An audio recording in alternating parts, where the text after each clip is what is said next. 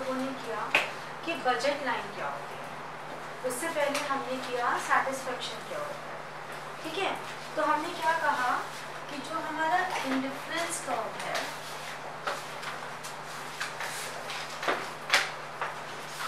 वो सेटिस्फेक्शन की बात करता है। जो हमारा इंडिफरेंस कर्व है, वो सेटिस्फेक्शन की बात करता है। ठीक है? लेकिन जो हमारी बजट लाइन है बजट लाइन बात कर रही है इनकम की। ठीक है? इंडिफरेंस कर्व सेटिस्फेक्शन की बात कर रहा है बजट लाइन इनकम की बात कर रही है। कंज्यूमर इक्विलिब्रियम कहाँ होगा? जहाँ उसको within given level of income satisfaction मिलेगा। Right right? अब अगर हम बात करें स्लोप की तो इंडिफरेंस कर्व का स्लोप होता है M R S X Y M R S X Y मतलब जितना हम लूज कर रहे हैं एक कॉमोडिटी और जितना गेन कर रहे हैं राइट बजट लाइन का स्लोप होता है P X upon P Y तो ये इसका स्लोप हो गया और ये इसका स्लोप अब हम बात करें अगर कंज्यूमर्स इक्विलिब्रियम की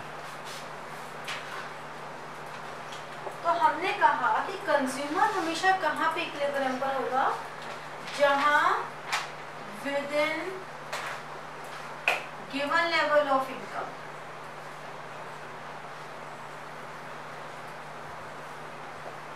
consumer satisfies तो इसकी कंडीशन क्या होती है? यहाँ पे कंज्यूमर इक्विलिब्रियम की कंडीशन क्या हुई यहाँ कंज्यूमर इक्विलिब्रियम की कंडीशन हुई। The point where slope of indifference curve is equal to slope of budget line. Indifference curve का slope बजट लाइन के स्लोप के बराबर हो। यानी कि M R S X Y is equal to P X upon P Y diagrammatically अगर हम बोले तो हम कहेंगे the point where indifference curve is tangent to budget line ठीक है ना? यानी कि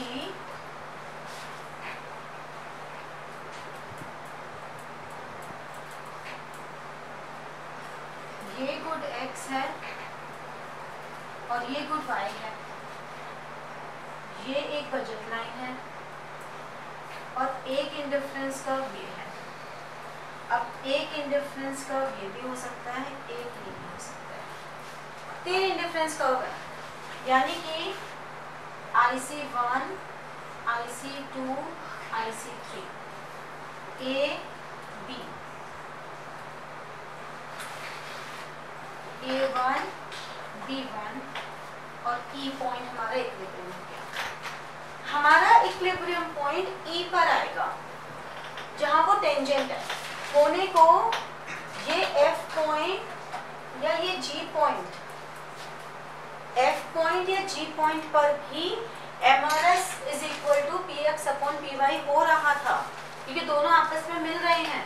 लेकिन दोनों का मिलना इतना ज़रूरी नहीं है, जितना ये ज़रूरी है कि टेंजेंसी होनी चाहिए। और वैसे भी कंज्यूमर लोअर इंडिफरेंस कर्व पे क्यों अपने आप को रखना चाहेगा? बिकॉज़ लोअर इंडिफरेंस कर्व पे तो उसे कम सेटिस्फेक्शन है। अगर कंज्यूमर की इनकम अफोर्ड कर सकती है हाई लेवल ऑफ़ सेटिस्फेक्शन तो कंज्यूमर क्यों नहीं हाई लेवल ऑफ़ सेटिस्फेक्शन पे जाना चाहेगा? ठीक है? तो टेंजेंसी ई पर है। तो F and G lower indifference curve पर है। आई थ्री ये आई सी टू है sorry I C one I C three beyond budget line है. IC3 बियॉन्ड बजट लाइन है. और IC2 इज़ परफेक्ट IC2 पर point E consumers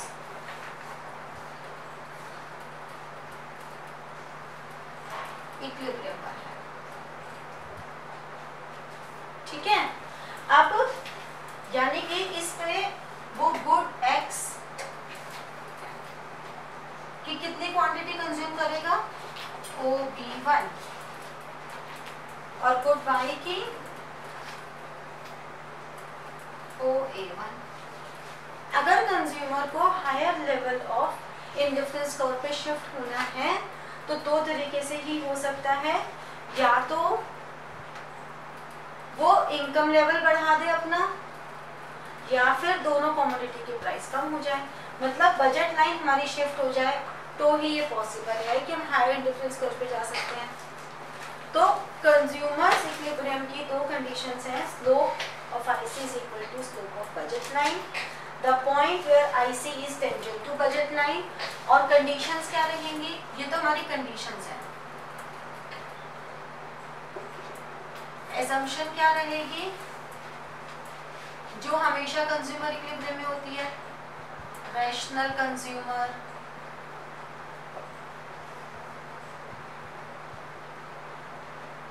no change in no change in price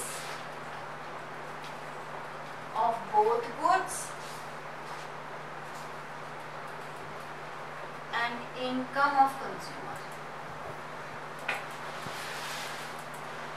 Consumer की income में भी कोई change नहीं होना चाहिए और दोनों गुड्स के प्राइस में भी कोई चेंज नहीं होना चाहिए। ये एजम्पशन हम लेके चलते हैं।